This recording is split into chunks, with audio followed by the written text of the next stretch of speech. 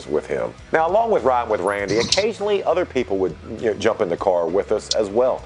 Um, one of the ones that rode with us frequently was Stacy Keibler. Now, Stacy was always great to have because she she kept Randy and I on our toes and out of trouble. She was a lot of times the voice of reason, and she was the one that made sure that whenever we were doing something, it wasn't to the point where we was going to be inhibited from getting to our next location. So I thank you for that, Stacy. Now let's look at